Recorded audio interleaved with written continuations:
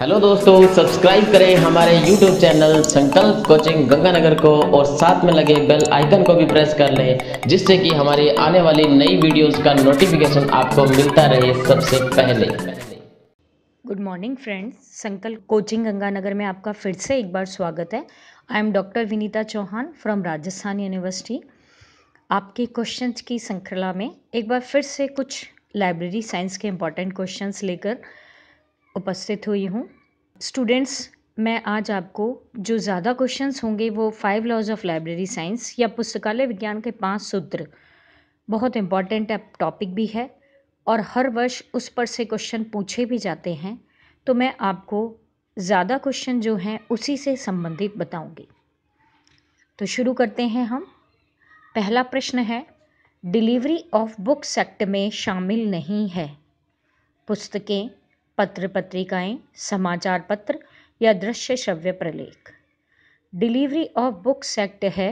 आज़ादी के बाद भारत सरकार द्वारा 1954 में यह एक्ट लागू किया गया, जिसके तहत भारत में प्रकाशित प्रत्येक पुस्तक की एक कॉपी प्रकाशक को national library of India, Calcutta तथा तीन अन्य डिपॉजिटरी लाइब्रेरी, जिनमें Connemara public library, Madras, royal asiatic society, Mumbai तथा तीसरी जो लाइब्रेरी थी, वो दिल्ली पब्लिक लाइब्रेरी को अन्य डिपॉजिटरी लाइब्रेरी घोषित किया गया। इस प्रकार डिलीवरी ऑफ़ बुक्स एक्ट के तहत भारत में प्रकाशित होने वाली प्रत्येक पुस्तक की एक एक कॉपी इन चार पुस्तकालयों को जमा करनी ज़रूरी थी।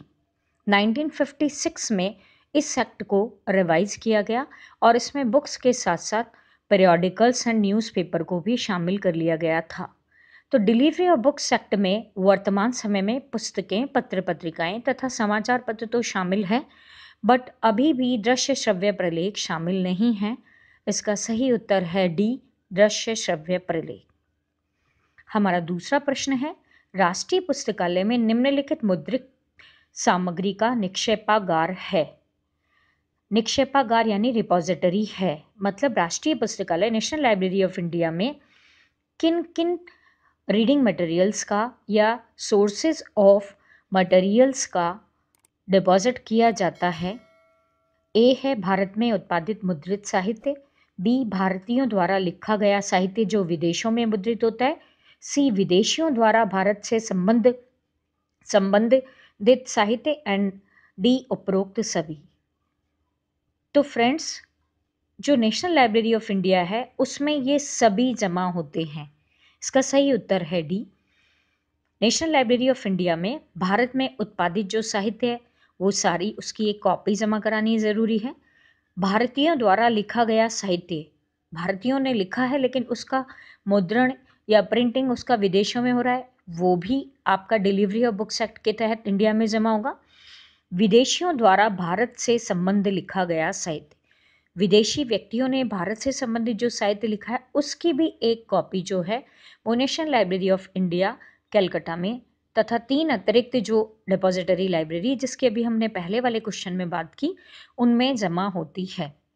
डिलीवरी ऑफ़ बुक्स एक्ट जो लागू किया गया था, उसका प्रमुख उद्देश्य था कि भारत में प्रकाशित साहित्य को भावी पीढ़ी के लिए सुरक्षित रखना। अर्थात कि ज्ञान को भावी पीढ़ी के लिए सुरक्षित रखना तो भारत से रिलेटेड चाहे विदेशियों के द्वारा लिखा गया हो, भारत में मुद्रित हुआ हो, या विदेशों में मुद्रित हुआ हो, सभी साहित्य को, ज्ञान को भावी पीढ़ी के लिए सुरक्षित रखने के लिए एक एक कॉपी इन चारों डिपॉजिटरी लाइब्रेरी में जमा करनी ज़रूरी है। तो इसका सही उत्तर है डी, उपरोक्त सभी। हमारा नेक्स्ट प्रश्न है डॉक्टर रंगानाथन के पुस्तकालय विज्ञान के पाँच सूत्रों की परिकल्पना कब की गई थी? जैसा मैंने आपको शुरुआत में बताया कि हम अपनी इस जो क्वेश्चंस की सीरीज़ है, उसमें five laws of library science से रिलेटेड क्वेश्चंस ज़्यादा करेंगे। डॉक्टर रंगानाथन ने लाइब्रेरी साइंस के five laws of library science की परिकल्पना 1928 में की थी। इसका सही उत्तर है ए ये पुस्तकालय विज्ञान के पाँच सूत्र हैं। ये लाइब्रेरी साइंस का आधारभूत साहित्य है। यूनिवर्सली एक्सेप्टेड हैं। पाँच सूत्र जैसा आप सभी को पता है। पुस्तकालय उपयोग के लिए है। प्रत्येक पाठक को उसकी पुस्तक मिले। प्रत्येक पुस्तक को उसका पाठक मिले। पाठक का समय बचाओ। और नेक्स्ट, लाइब्रेरी एक वर्धनशील या पुस्तकालय एक वर्धनशील संस्था है। पहला जो सूत्र है वो है पुस्तकें उपयोग के लिए।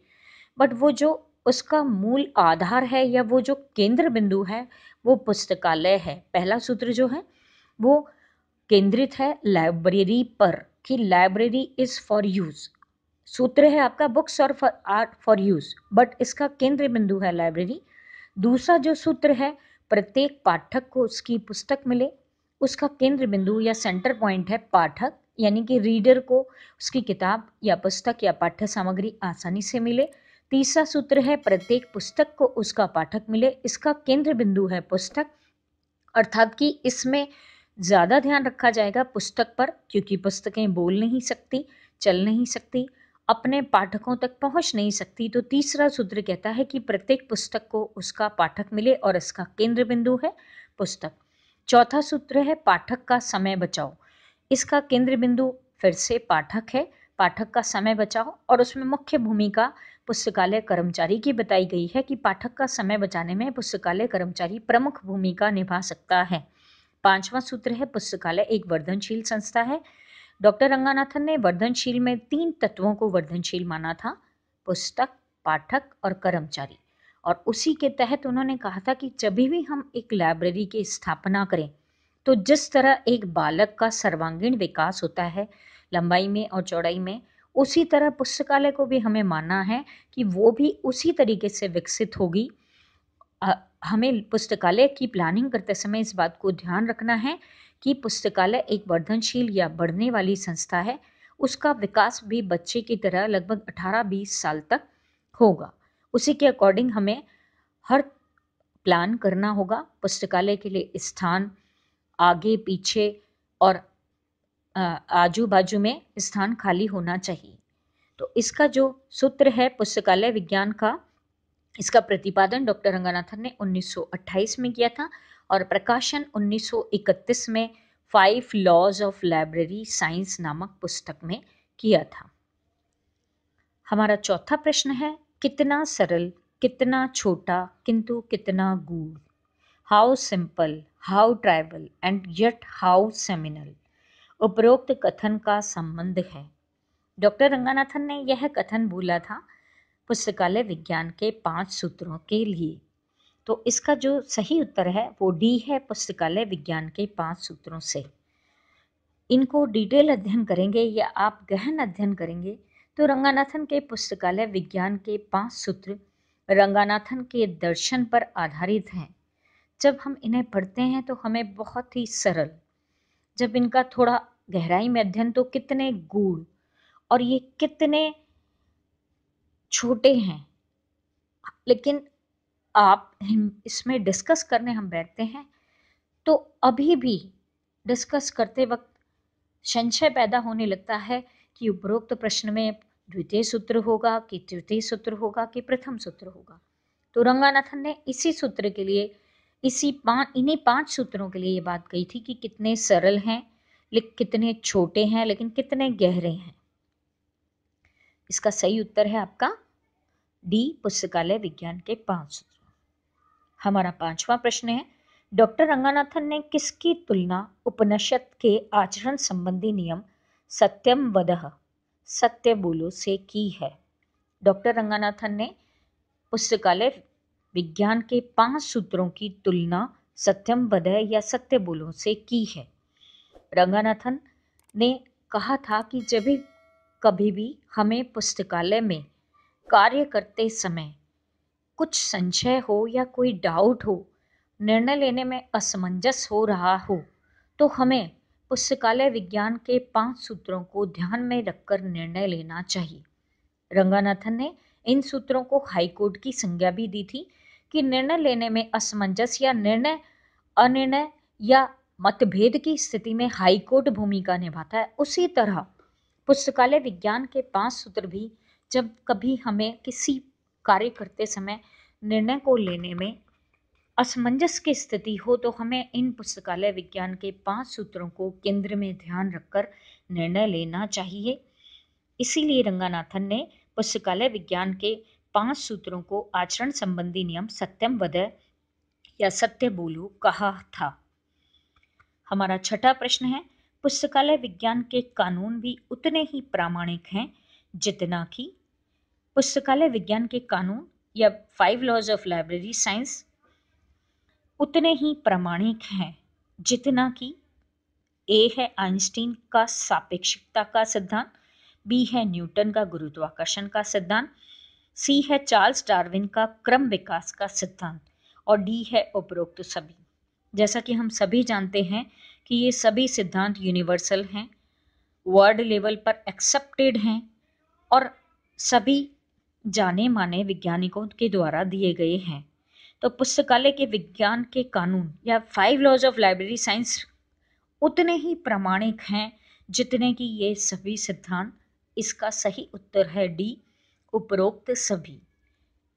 क्योंकि पुस्तकालय विज्ञान के इन पाँच सूत्रों को विश्व स्तर पर स्वीकार किया गया, समय के बढ़ते क्रम में या सूचना के विकास क्रम में, सूचना के स्वरूप में जैसे जैसे परिवर्तन होता गया, पुस्तकालय विज्ञान के पाँच सूत्रों को भी उसी के अकॉर्डिंग परिवर्तित किया गया। पुस्तकालय विज्ञान के पाँच सूत्रों को पुस्तकालय पुस्तकें उपयोग के लिए है। कुछ समय बाद electronic libraries are for use फिर उसके बाद web is for use and now media is for use इन्हें जिस तरीके से सूचना के स्वरूप में परिवर्तन हो रहा है, उसी के अकॉर्डिंग इनको परिवर्तित करके देखा गया और यह महसूस किया गया और यह मन मतलब यह अंतिम निर्णय निकला कि ये आज भी उतने ही सार्थक हैं, उतने ही उपयोगी हैं जितने कि इनके निर्माण के समय में थे। हमारा सातवां प्रश्न है, पुस्तक रैक की आदर्शक ऊंचाई है। ए है साढ़े छः से सात फुट बी है छः से सात फुट सी है सवा छः से सात फुट एंड डी है पौने सात से सात फुट छः से तीन बटा चार से सात फुट। तो इसका सही उत्तर है सवा छः से सात फुट।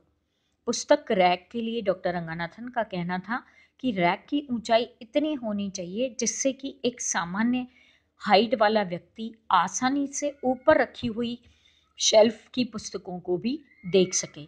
तो रैक की जो आदर्शक ऊंचाई है वो सवा छः से सात फुट होनी चाहिए, जिससे कि पाठक को ऊपर की रैक से पुस्तकें उतारने में भी असुविधा नहीं हो। हमारा आठवां प्रश्न है, दो रैकों के बीच छोड़े जाने वाला प्रामाणिक स्थान है। यानी आमने सामने जो दो रैक रखी हैं, जिनमें कि हमने पाठ्य सामग्री पुस्तकों आदि को संग्रहित किया है, उनमें कितना स्टैंडर्ड साइज़ छोड़ना चाहिए या कितनी जगह छोड़नी चाहिए? ए ऑप्शन है साढ़े चार से छः फुट बी है चार से छः फुट सी है तीन से पाँच फुट एंड डी इज़ पाँच से छः फुट। तो इसका सही उत्तर है स्टूडेंट साढ़े चार से छः फुट। जो स्टैंडर्ड जगह होनी चाहिए दो अलमारियों के बीच में साढ़े चार से छः फुट होनी चाहिए कि दो व्यक्ति आसानी से, कुछ देर अगर उन्हें देखनी भी है तो आसानी से दो व्यक्ति आमने सामने खड़े होकर अपनी किताबों को ढूंढ सकें और दो व्यक्तियों के चलने की जगह हो। तो इसका सही ए आंसर है साढ़े चार से छः फुट। हमारा अगला प्रश्न है, रंगानाथन के अनुसार सेवा ही कर्मचारी का धर्म है, प्रतिफल की कामना नहीं। उक्त वाक्य का संबंध किससे है?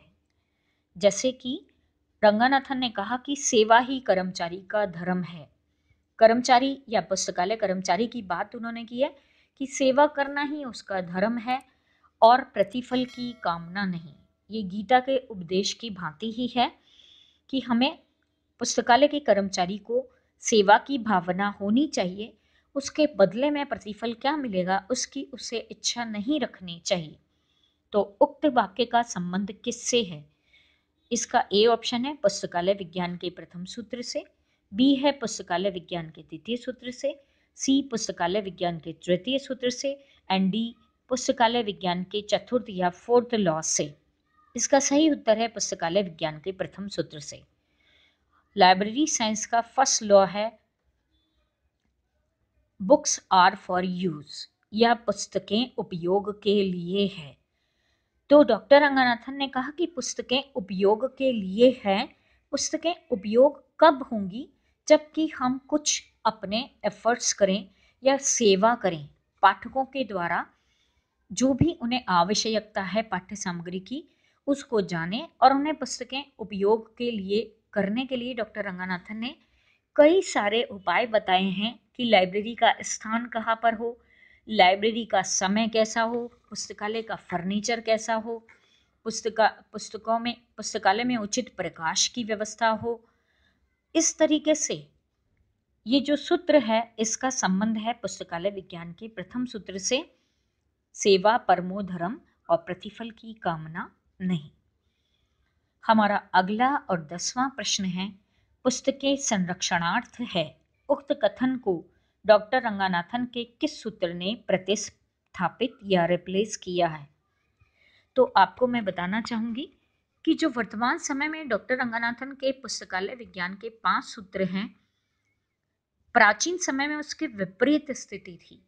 प्राचीन समय में पुस्तकों को उपयोगार्थ या उपयोग के लिए या जो हमारा पहला सूत्र है बुक्स आर फॉर यूज़ वो नहीं था।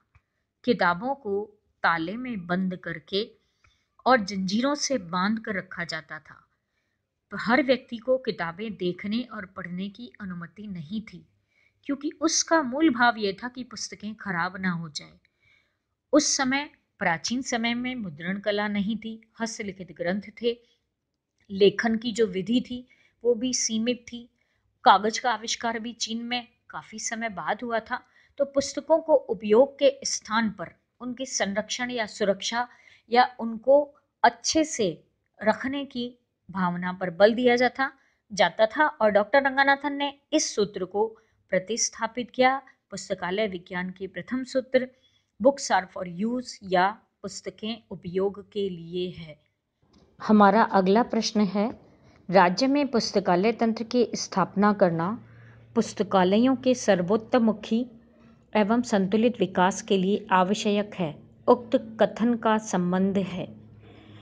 राज्य में पुस्तकालय तंत्र या लाइब्रेरी नेटवर्क की स्थापना करना और लाइब्रेरी का ओवरऑल डेवलपमेंट करना किसका संबंध है? इस, जो कथन है, इस कथन का संबंध पुस्तकालय विज्ञान के किस सूत्र से है? तो इसका सही उत्तर है बी, पुस्तकालय विज्ञान के द्वितीय सूत्र से।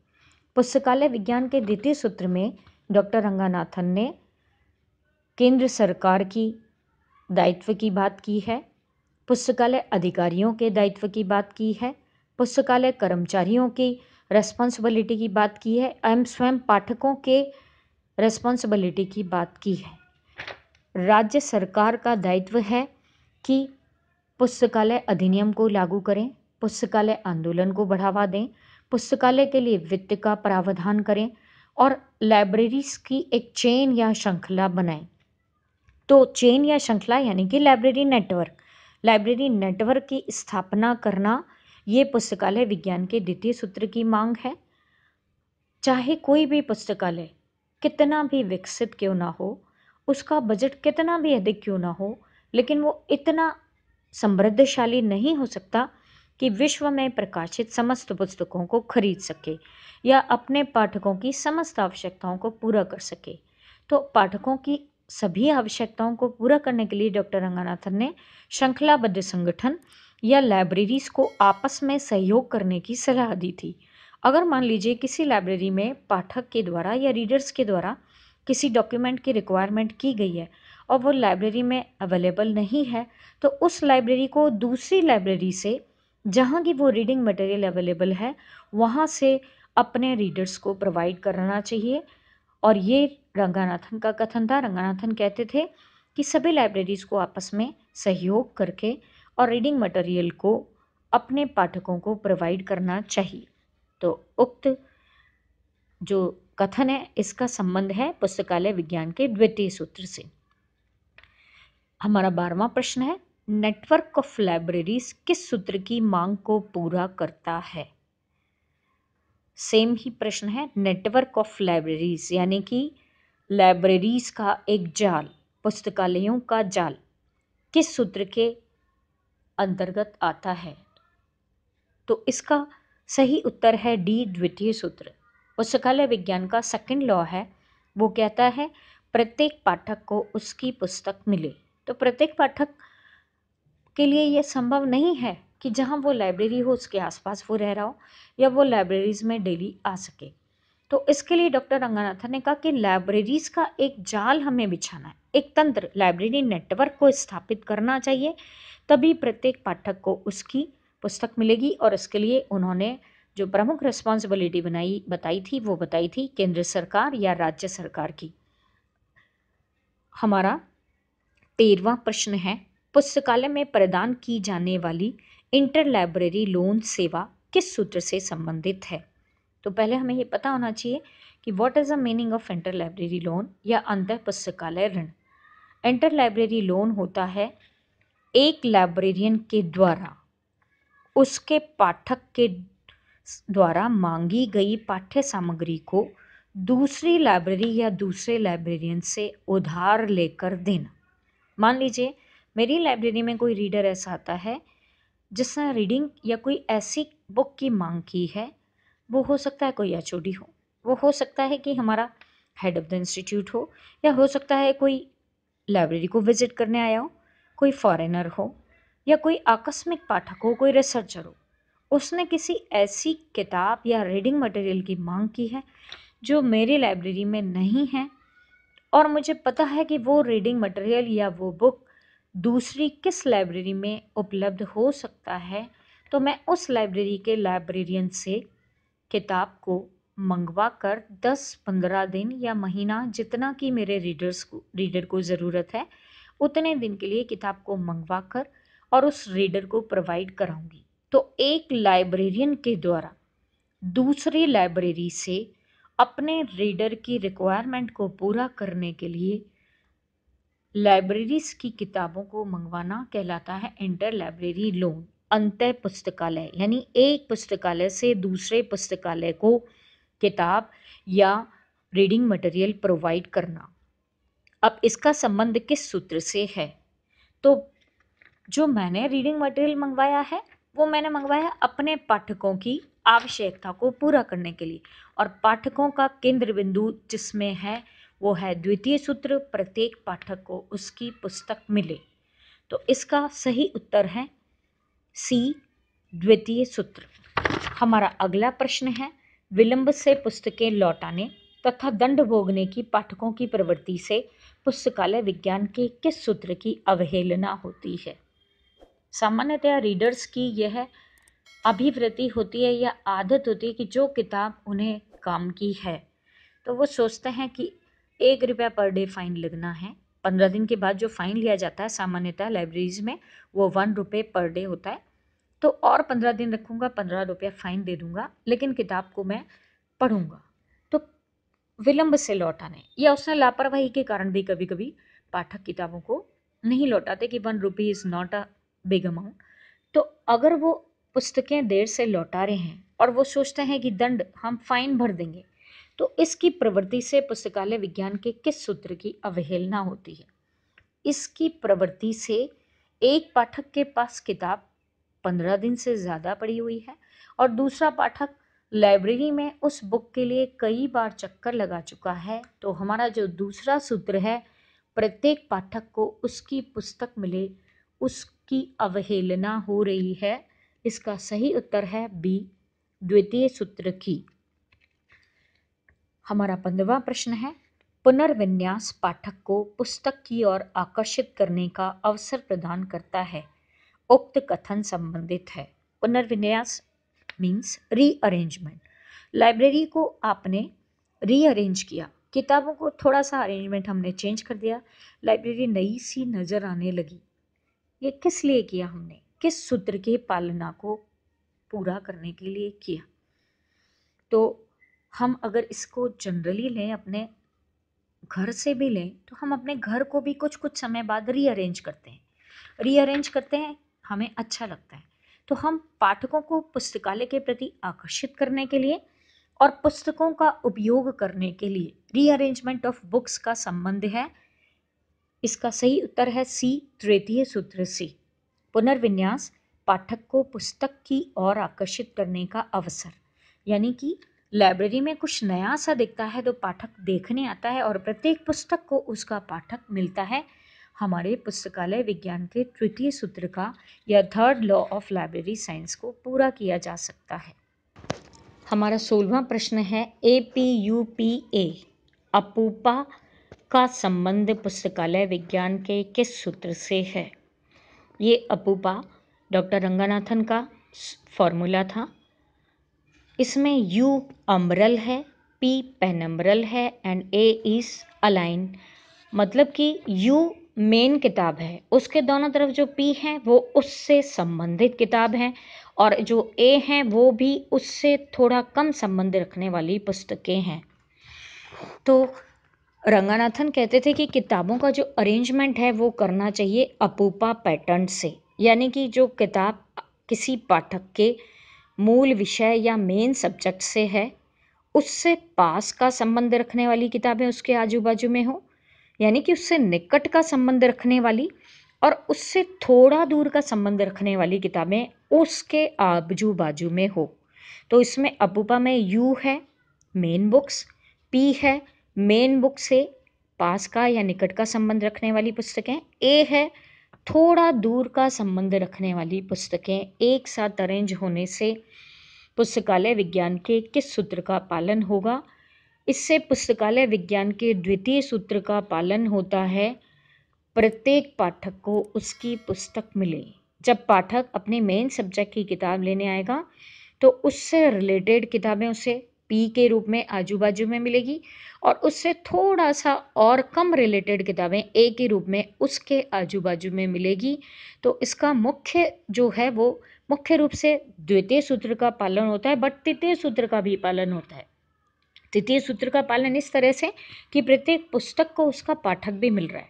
हो सकता है कि पाठक यू किताब लेने आया था, उसे पी के बारे में जानकारी भी नहीं थी, लेकिन यू के बगल में पी किताब को देखकर उसे लगा this is also important book for me तो अपूपा पैटर्न का मुख्य रूप से पालना होती है द्वितीय सूत्र की and third law is also related to APUPA pattern. हमारा सत्रवा प्रश्न है, आवश्यकता होने पर वर्गों की निरपेक्ष स्थिति का पालन करने से पुस्तकालय विज्ञान के किस सूत्र का पालन होता है? पहले हम ये देखेंगे वर्गों की निरपेक्ष स्थिति क्या है। क्लास नंबर की सापेक्षिक एंड निरपेक्षिक दो स्थिति होती है। क्लास नंबर की सापेक्षिक स्थिति यानी जो किताब क्लास नंबर के अकॉर्डिंग जहाँ पर आनी चाहिए, वहीं अरेंज होनी चाहिए। अगर वन नंबर पे यूनिवर्स ऑफ़ नॉलेज है तो वन नंबर पे universe of knowledge two number पे लाइब्रेरी साइंस की किताब थ्री नंबर पे बुक साइंस फोर नंबर पे जर्नलिज्म की किताबें अरेंज होनी चाहिए।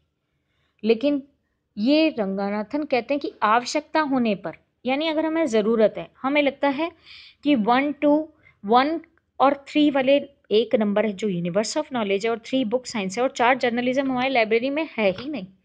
तो हम चाहें तो पहले, सबसे पहले दो लाइब्रेरी साइंस की किताबों को अरेंज कर सकते हैं according to requirement of our users इसी तरह से मान लीजिए कि आपकी लाइब्रेरी में सबसे ज़्यादा साइंस के स्टूडेंट आते हैं, या आपकी लाइब्रेरी में साइंस विषय के साथ साथ आर्ट्स विषय भी और आर्ट्स के स्टूडेंट ज़्यादा आते हैं और डिमांड ज़्यादा आर्ट्स की है तो आप जो क्रम बनाया है डॉक्टर रंगनाथन ने अपनी कोलन वर्गीकरण पद्धति में, उसको हम थोड़ा सा उसमें लचीले या उसमें ढील भी दे सकते हैं और अकॉर्डिंग टू अवर रीडर्स हम उसी के अकॉर्डिंग अरेंजमेंट को चेंज भी कर सकते हैं ताकि पाठकों का समय बचे। तो इसका जो सूत्र का संबंध है, वो है चतुर्थ सूत्र। आवश्यकता होने पर वर्गों की निरपेक्ष स्थिति का पालन करने से पुस्तकालय विज्ञान के चतुर्थ सूत्र, यानी पाठकों का समय बचे का पालन होगा। नेक्स्ट हमारा अठारवा प्रश्न है, पुस्तकालय में विभिन्न गाइड्स का प्रयोग करने से पुस्तकालय विज्ञान के किस सूत्र का पालन होगा? जैसा कि हम देखते हैं कि हम किसी मॉल में जाते हैं या हम किसी शॉप पर जा रहे हैं तो जगह जगह कहीं गाइड्स लगी होती हैं। जैसे women section man section children section अगर हमें चिल्ड्रन से रिलेटेड कुछ लेना है तो हम वो गाइड देखकर और अपने आप ही तुरंत चिल्ड्रन सेक्शन जो फ़र्स्ट सेकंड थर्ड जिस फ्लोर पर भी है, उसमें पहुँच जाते हैं। तो उसी तरह लाइब्रेरीज़ में भी गाइड्स लगी होती हैं, जिसमें कि आपका periodical section reference section issue return section research section इस तरीके से जगह जगह तख्तियों पर लिखकर लाइब्रेरी में लगाया हुआ होता है, जिससे पाठकों के समय की बचत होती है। तो जो पुस्तकालय में विभिन्न गाइड्स का प्रयोग करने से पुस्तकालय विज्ञान के चतुर्थ सूत्र का पालन होता है, इसका सही आंसर है डी चतुर्थ सूत्र। हमारा उन्नीसवा प्रश्न है, दाब छपाई टूलिंग क्या है? ए है पुस्तकों को प्रिंट करने का उपकरण बी है पुस्तकों के स्पाइन टैग के स्थान पर छपाई, सी है कलात्मक छपाई और डी है आधुनिक छपाई। तो जो दाब छपाई है, इसका सही उत्तर है पुस्तकों के स्पाइन टैग के स्थान पर छपाई। जैसा कि हम जानते हैं कि लाइब्रेरी की जो पीठ लाइब्रेरी में किताबों की पीठिका स्पाइन होता है किताब का पीछे वाला स्थान। वहाँ पर हम नीचे से 1.25 सेंटीमीटर छोड़कर एक स्पाइन टैग गोल लगाते हैं, जिस पर किताब का कॉल नंबर और एक्सेशन नंबर लिखा जाता है। तो दाब छपाई है स्पाइन टैग नहीं लगा रहे हम, और कॉल नंबर और एक्सेशन नंबर को छाप रहे हैं या छपाई के द्वारा हम उसको स्पाइन टैग के स्थान पर लगा रहे हैं दैट इज़ टूलिंग और दाब छपाई। हमारा बीसवां प्रश्न है लाइब्रेरी ऑफ़ कांग्रेस के द्वारा सूची पत्रकों को मुद्रित करवाने से पुस्तकालय विज्ञान के किस सूत्र को प्रमुख रूप से पूरा किया गया था? तो सूची पत्रक कैटलॉग कार्ड्स जैसा कि आपको पता है, अगर हम परंपरागत सूची पत्रकों की बात करें, जिनका प्रारंभ 1775 में रोजियर के द्वारा फ्रांस में किया गया था तो सामान्यतया ये 12.5 पॉइंट पाँच इंटू सात पॉइंट पाँच सेंटीमीटर के कार्ड होते हैं, या पाँच इंटू तीन इंच के स्टैंडर्ड इनका कार्ड का साइज़ होता है इन कार्ड पर किताबों की सूची या कैटलॉग एंट्रीज करके और उसे कैटलॉग कैबिनेट में रखा जाता है। कैटलॉग कैबिनेट में रखे गए कार्ड्स को एक बार में एक ही व्यक्ति देख सकता है। अगर रंगानाथन की किताबें एक रीडर देख रहा है तो दूसरे रीडर को वेट करना होगा कि वो जब उस कैटलॉग कैबिनेट से हटेगा तो रंगानाथन की कौन कौन सी लिस्ट ऑफ़ बुक्स लाइब्रेरी में अवेलेबल हैं, वो तभी देख सकता है।